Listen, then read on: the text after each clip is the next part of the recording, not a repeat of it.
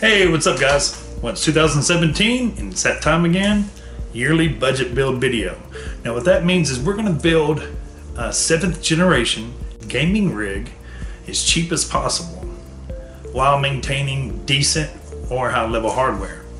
Now, what I call a budget build is an open architecture machine that while it plays everything now, maybe a year or two from now, it won't and allows us to basically pop in a new CPU or a new graphics card without having to use maybe a Dell proprietary motherboard or all-in-one unit.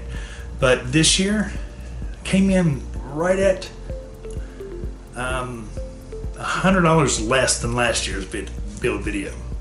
So let's dig in. I'll show you what we got.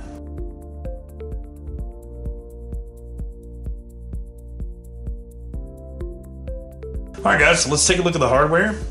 Um, we're going to start off with a EVGA 450 watt power supply. And I'm going to put the, the prices to everything on the side. Next, we have an NVIDIA GTX 1050 OC edition. And you'll see why I got the OC edition here shortly. I got an Intel i3 uh, 7350K unlocked. And instead of going with the stock Intel fan, I opted for the um, Arctic Alpine. It's very quiet, very large, and it should allow us to do some overclocking if we need it. Now, let's go back to the CPU. The CPU was $148, and with the Alpine, it dropped it, it bumped it up to about 155.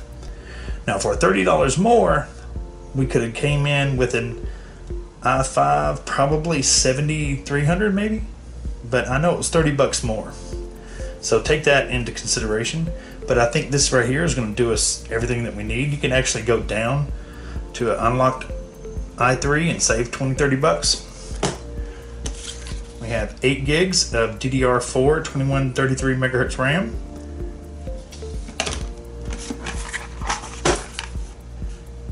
A Kenta, uh, KingSpec. I think it's actually a uh, no, yep, KingSpec uh, 128 SSD drive. Now, I've never really heard of this name before, but I don't have any problems out of it, and it's performing very well. And finally, we have our Gigabyte H110M motherboard. Now this is a very, very bare motherboard, and we'll get into that in a minute, but it basically has everything you need except Wi-Fi. No Wi-Fi, no Bluetooth. But for what I'm building this for, it's not a problem. So let's dig in. I'm going to show you some of the specs and the machine. All right, let's just take a look at a few of the features of the motherboard.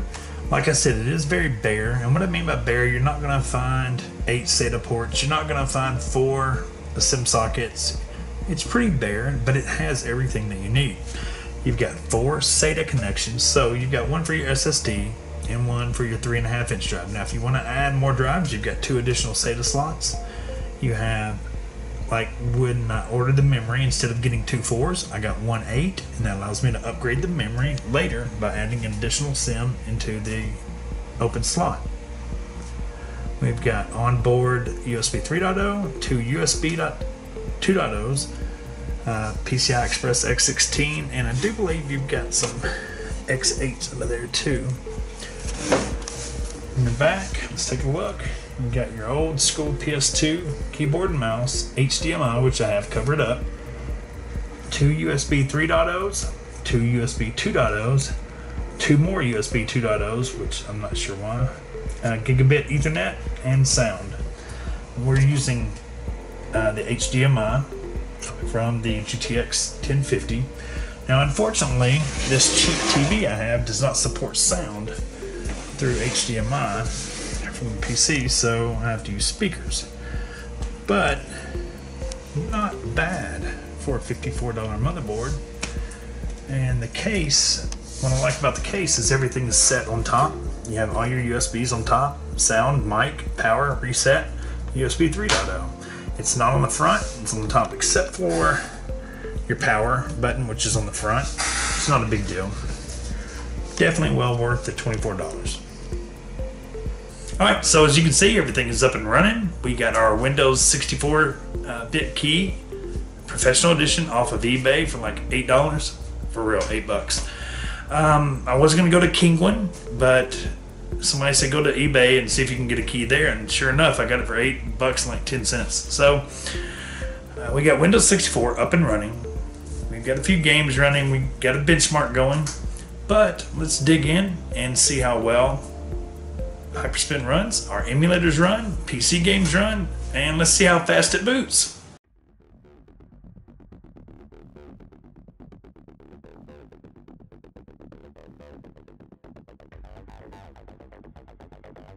Hyperspin.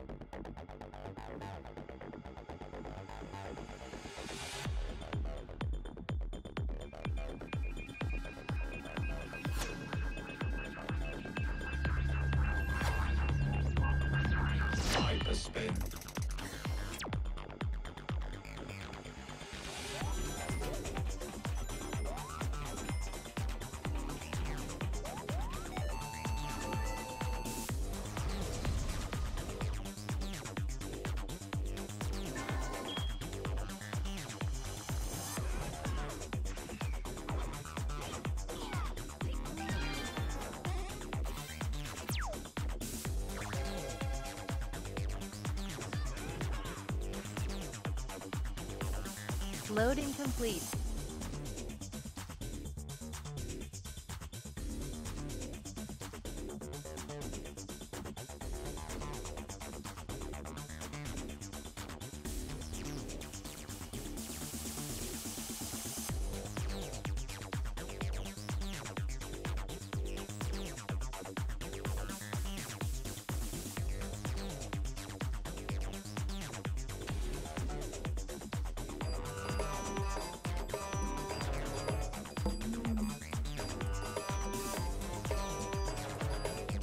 Naruto, you're tr- Ah, I. You're. I don't.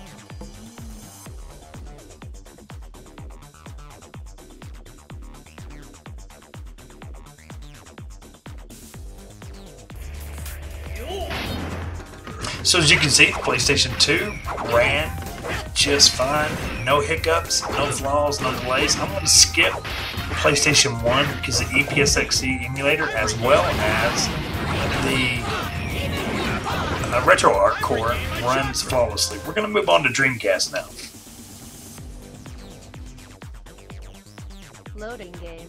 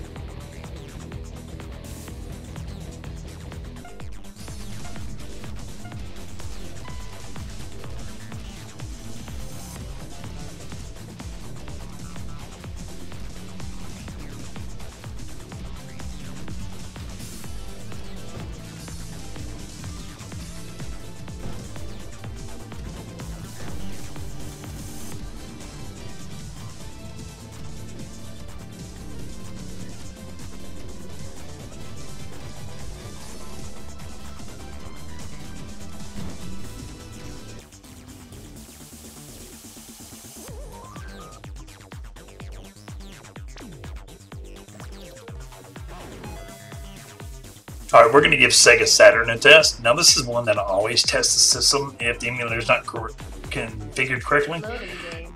This is currently running the RetroArch core, and that core generally doesn't run as efficient as Yabause, but we're going to give it a whirl, and I think you're going to be surprised how well it plays.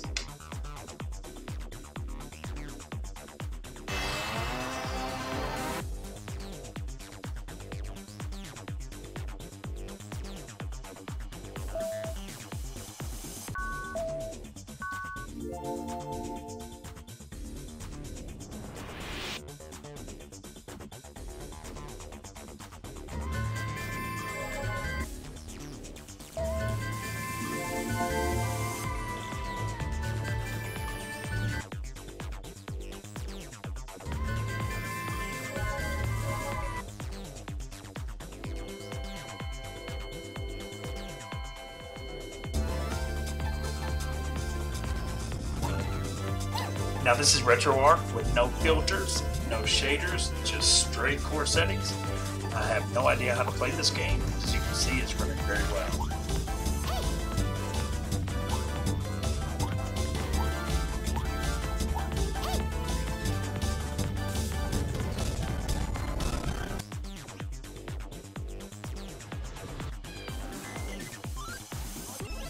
Going to test Nintendo Wii now. Now, like I mentioned earlier, there's no Bluetooth, so we're going to have to use Loading the emulated nunchuck and Wiimote using the 360 controller, which doesn't work very well, but a Bluetooth dongle is maybe five bucks. So I just want to see how well the game loads. Are there any artifacts? Loading complete. How well the graphics look.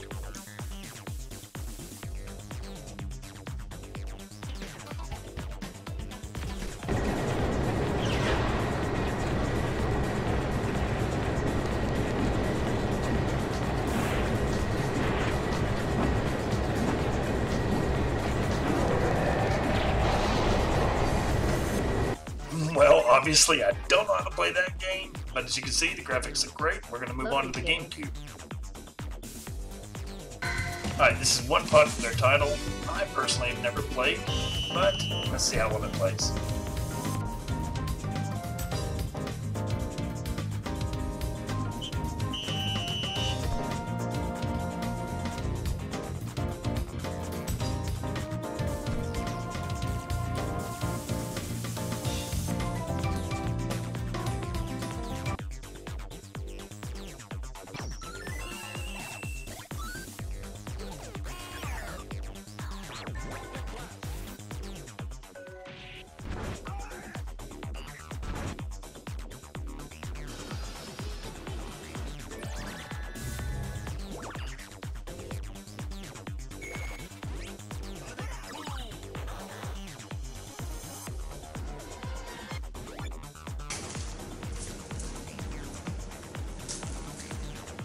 So there you have it, guys. You've got a really nice machine for under 600 bucks, and if you throw a three and a half inch drive, you can add that cost to it. But you may have uh, one or two laying around, so you know you've got a lot of money already into your arcade. You don't want to throw another couple grand if you don't have it. So I might as well build a budget machine. You're going to get very, very close, if not the same, to game performance. All the emulators run at 60 frames per second. You will not be dissatisfied. So for 600 bucks, there you go. Hope that helps, and we'll do another budget build next year.